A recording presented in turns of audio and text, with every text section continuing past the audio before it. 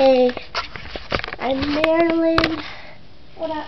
It's my normal voice, okay? This is my helium voice. Hello, how are you? I don't know, but I just true. Ha ha ha. Hello, hello, hello, hello, hello. Good bird, go!